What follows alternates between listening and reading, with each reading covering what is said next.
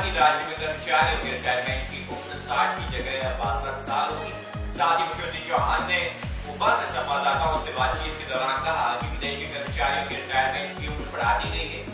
CM Shivraj ने कर्मचारियों के रिटायरमेंट की उम्र साठ से बढ़ाकर बासठ साल करने का ऐलान किया है। बता दें कि शिवराज सरकार चुनावी साल में कर्मचारियों को सौगात देने में कोई कसर नहीं छोड़ रही है। अध्यापकों और पंचायत सचिवों को सौगात देने के बाद अब सरकार अधिकारी और कर्मचारियों के रिटायरमेंट साठ से बढ़ाकर बासठ साल करने जा रही है। वही प्रदेश में महिलाओं पर हो रहे अपराधों को लेकर पुलिस कितनी सजग है। इसकी पुलिस रिपोर्टों को नज़र आई। पुलिस क्राइम रेट कम करने के लिए अपने देश लड़कों को मंजिला बताकर उनका जुलूस निकाल रही है। मंजिलों की धड़कन के नाम पर भोपाल के दो छात्रों को पुलिस ने जुलूस निकाल दिया और मामला जानपट थाने क्षेत्र का है, जहाँ कुशीनगर में रहने वाले दो छात्रों को पुलिस की मनमानी का शिकार हुए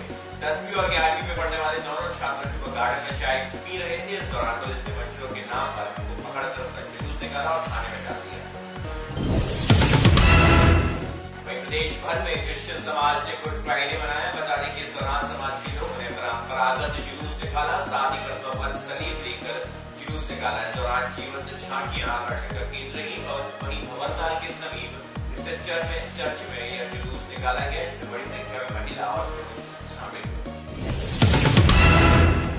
केंद्रीय मंत्री नरेंद्र सिंह तोमर के भोपाल दौरे ने पूरे प्रदेश में सियासी हलचल मचा दी है, लेकिन तोमर ने खुद के प्रदेश अध्यक्ष बनने की चर्चाओं पर विराम लगा दिया है गुरुवार को भोपाल में मीडिया से बातचीत में उन्होंने कहा कि जो विचार मन में नहीं है, उस बारे में चर्चा की कोई ज़रूरत नहीं वही तोमर ने कहा कि उनके प्रदेश का नेतृत्व परिवर्तन से कोई लेना देना नहीं है। वही प्रदेश अध्यक्ष बदले जाने पर कोई विचार नहीं किया गया है। उन्होंने मौजूदा अध्यक्ष नंद कुमार चौहान को हटाए जाने की अटकलों को भी से खारिज कर दिया।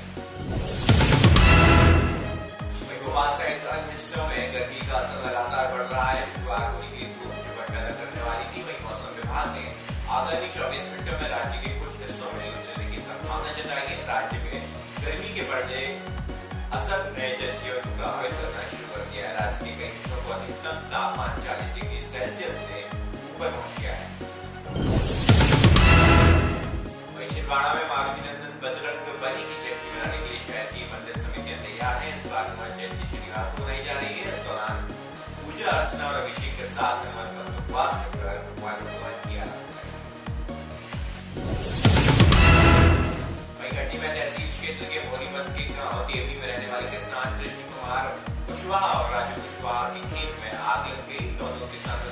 की एकड़ गेहूँ की फ़सल खाक गई, जिससे उन्हें करीब डेढ़ लाख रुपए का नुकसान हुआ। आग की चपेट में आए आम बबूल और कटहल के लगभग पंद्रह पेड़ भी धस गए।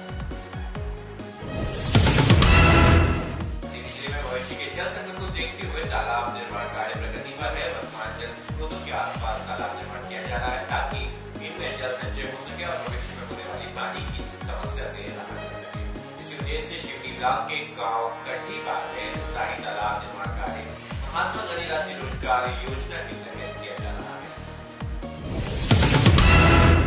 वहीं आस्था में प्रतिबंधित जूते और लगाकर गाड़ी चलाने के मामले में जावर नगर पंचायत अध्यक्ष शैलेश कुमार को कोर्ट में पेश किया गया बता दें कि आस्था पुलिस ने मोटर के तहत अध्यक्ष पर मामला दर्ज किया था वहीं कोर्ट ने कहा कि उनके खिलाफ समन जारी किया जाएगा इसके बाद भी अगर वे उपस्थित नहीं होते हैं तो वारंट जारी कर कार्रवाई की जाएगी छिंदवाड़ा में नवों से भाजपा किसान मोर्चा की सम्मान यात्रा का शुभारंभ हुआ। बता दें कि किसानों के मन में सरकार के प्रति रोष को कम करने के लिए यात्रा का आयोजन किया गया है। जानकारी के मुताबिक पहली अप्रैल मुरैना पहुंचेगी जहाँ से सामग्री उतरने के बाद ज़िले में वापस आएगी। बिहार में पुलिस ने अपराध रोकने के लिए शुक्रवार को शहर के। अलग अलग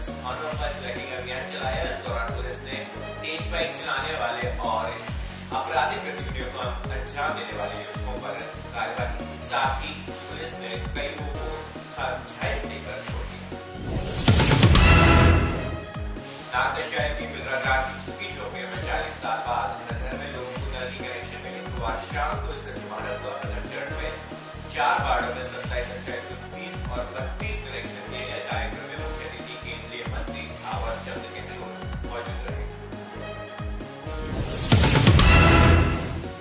सागर में सांसद और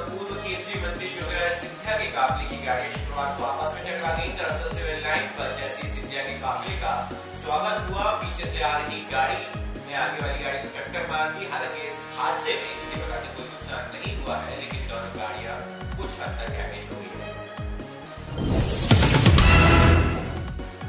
में कांग्रेस कार्यकर्ताओं द्वारा मुख्यमंत्री शिवराज सिंह चौहान को काली झंडी दिखाना काफ़ी महँगा पड़ा। बता दें, सीएम शिवराज सिंह चौहान को काली झंडी दिखाने के मामले में पाँच कांग्रेसियों को जेल में बंद कर दिया गया था, जिसके बाद उनकी रिहाई के लिए नेताओं को फ़ोन घुमाकर एसपी और सीएसपी से बात करनी पड़ी। इसके बाद उन्हें दो दिन बाद रिहा किया गया। फ़िलहाल खबरों में इतना ही। ताज़ा तरीन अपडेट के लिए बने रहिए पत्रिका मध्य प्रदेश के साथ। नमस्कार।